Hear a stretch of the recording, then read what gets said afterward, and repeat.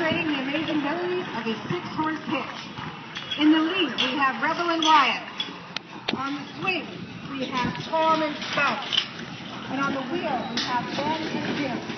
They range from the age of 18 to 19 years old. The largest are 18 hands high and weigh 2,600 pounds. Wyatt has been the leader in every big hitch that Neil has driven in the last 12 years. The Percheron breed has held the world record for the largest living horse. The reason they are a favorite of Neil is because of their style, grace, and talent. Neil is there are two kinds of horses, Percherons and something else, and there are two colors, black and something else. However, Rebel, who's in the lead, is an exception to this rule. Rebel comes from a bloodline that was raised by Mayo's great-grandfather back in 1896. In this driving demonstration, Neil will show a sample of everyday driving in the six-horse hitch hauling freight at the turn of the century.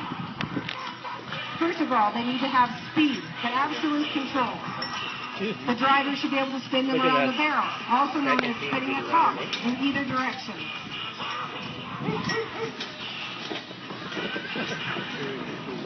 They should trot in a line, a sharp pace, with, with, with their tight tight. The wagon is a turn of the century Gibson City freight wagon, the style that was used for most show hitches today. It was rebuilt by Neil and his Jack, his dad Jack.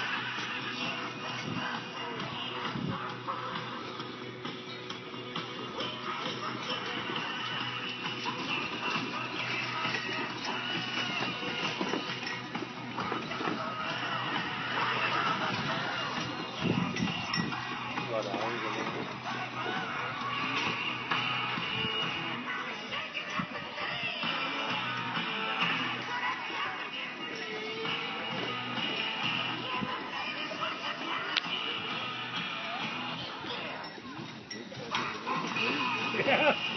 Smooth, eh? Yeah. Has he been on there a long time? Back into a dock was the only way you could get loaded in some cities, and sometimes you had to back down an alley and then dock. Fanning left or right was to remove the hitch from blocking the street. Neil is now going to do this maneuver.